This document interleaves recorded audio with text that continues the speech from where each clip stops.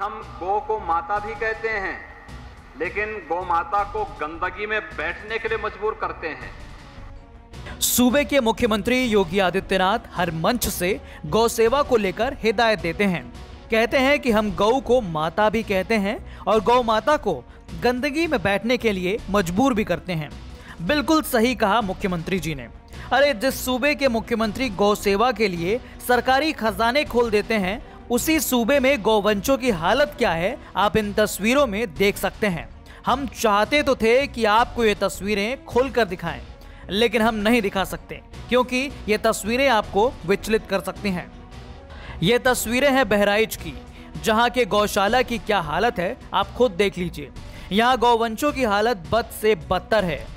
मरी हुई गायों के साथ, जहाँ जीवित गौवंश को भी गड्ढे में मरने के लिए छोड़ दिया गया है। यहाँ कुछ ऐसे गौवंश भी मिले जिनके शरीर में कीड़े लगे हुए थे। लेकिन उनकी ये तकलीफ़ देखने वाला कोई नहीं। ये हम नहीं कह रहे हैं। ये कह रहे हैं गौवंश के लिए काम करने वाले बजरंग दल के सह संयोजक शुभम तिवारी।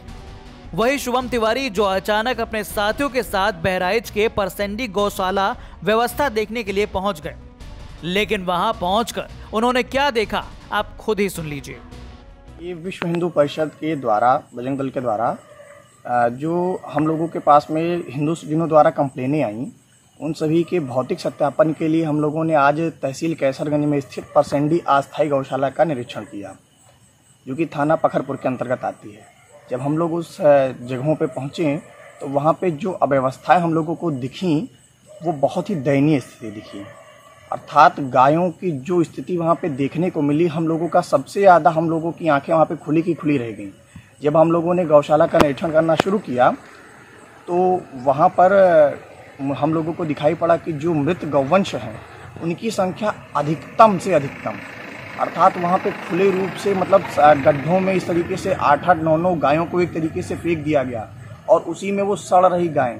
गाय सड़ रही, उनके ऊपर कीड़े उसी में डोल रहे। और सबसे आश्चर्यजनक बात यह लगी, एक ज़िंदा गौवंश को उन छह गौवंशों के बीच में फेंक दिया गया और उस सड़ी हुई गायों के कीड़े उसको और बुरी कंडीशन में मार डाले। हम लोगों ने जब उसको देखा, जब हम लोग भौतिक निरीक्षण कर रहे थे तो हम लोगों ने देखा कि वो ज़िंदा मृत गाय उसके बीच में तड़प रही, क्योंकि तो उसको कीड़े काट रहे थे, उसके बीच में वो तड़प रही। फिर हम लोगों ने जब उसके संचालक महोदय को उससे उससे निकलवाया तो बाद में पता चला कि वो जीवित। उसके बाद में जब हम लोग भौतिक सत्यापन में और इधर उधर टहलना शुरू किए तो वहाँ पे कई ऐसे गड्ढे थे जिनमें में से गौवंश के अवशेष बाहर निकले हुए, किसी का मुँह निकला हुआ, किसी का खुर निकला हुआ। उसके बाद में उसी गौशाला के पीछे एक नाला पड़ता है, जिस नाले में इतने गौवंश फेंके गए थे कि उनमें उबाल मतलब उनमें बुलबुले निकल रहे थे। जब हम लोगों ने इस विषयों को देखा, इन सब विषयों को, ऐसे ऐसे हम लोगों ने जानवर देखे, जिनके सींगी टूटी और सींग में कीड़े पड़ गए। कई ऐसे ऐसे जगह उनके शरीर पे थे जिसमें कीड़े पड़ गए और उनकी एक भी चिकित्सा व्यवस्था सुदृढ़ नहीं। फिर हम लोगों ने वहाँ के तहसील के जो हमारे उप जिलाधिकारी महोदय कैसरगंज के, उनको हम लोगों ने सूचना दी। मैंने कहा तो उन्होंने वो कुछ तत्व कारण से उपस्थित नहीं थे तो मैंने उनसे आग्रह किया कि आप अगर उपस्थित नहीं है तो आप अपने तहसील में से किसी एक प्रतिनिधि के रूप में किसी को भेज दें।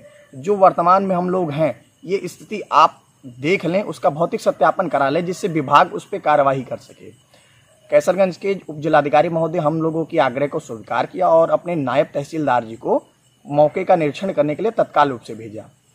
नायब साहब के आने के बाद पूरा का पूरा उन्होंने जब निरीक्षण किया तो उन्होंने भी इस विषय को रखा सबके सामने कि हमने इसको बहुत पहले एक बार वार्निंग दी थी कि गौशाला का संचालन सुचारू रूप से करो। और ये सड़ा हुआ भूसा खिला रहा था और आज भी सड़ा हुआ भूसा खिला रहा है और इस तरीके से गौवंश मृत पाए गए तो सुना आपने, शुभम तिवारी क्या कह रहे हैं? शुभम परसेंडी गौशाला की हालत पर डायरेक्ट सवाल उठा रहे हैं और आरोप लगा रहे हैं कि इसकी हालत बद से बदतर है। लेकिन जब इसके बारे में हमने जिलाधिकारी से बात की तो उन्होंने क्या गजब दलील दी?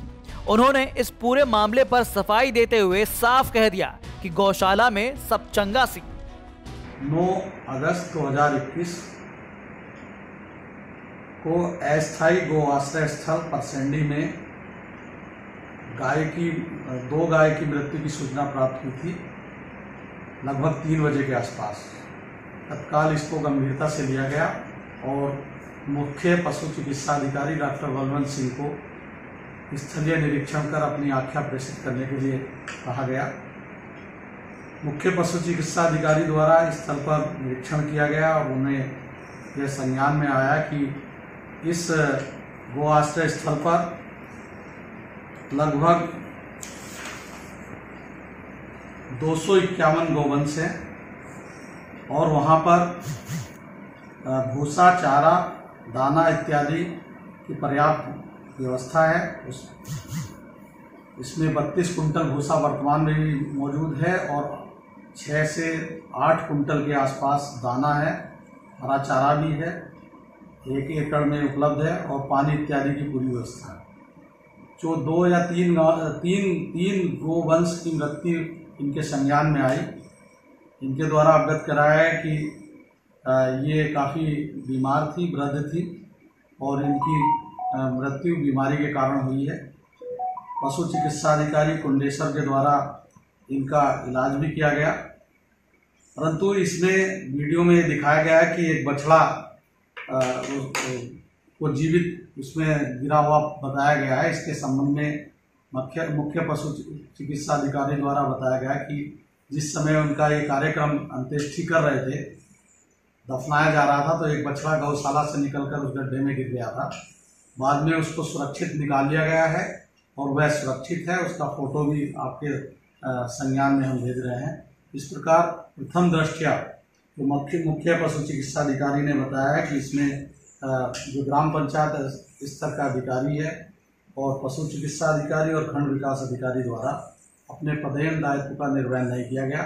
ऐसी दशा में यदि मृत्यु हुई थी तो उसको उच्च स्तर पर सूचित करना चाहिए था और इलाज की भी कोई दिक्कत थी तो भी अवगत कराना चाहिए अतः अपर जिलाधिकारी श्री जयचंद पांडे जी ने इनका, इनकी रिपोर्ट का परीक्षण किया और उप जिलाधिकारी से बातचीत की। तो इसमें स्पष्ट है कि ग्राम पंचायत अधिकारी द्वारा कुछ लापरवाही बरती गई है। नियमित रूप से वहाँ पर चार केयर टेकर होने के बाद भी बिना संज्ञानित किए ये उनको दफनाया जा रहा था। तो ये उचित नहीं था खैर, इससे आगे हम क्या ही कहें? इन तस्वीरों को देखकर आप खुद अंदाज़ा लगा लीजिए कि आखिर सच कौन बोल रहा है और कौन झूठ। बहराइच से रामबरन चौधरी की रिपोर्ट यूपी तक।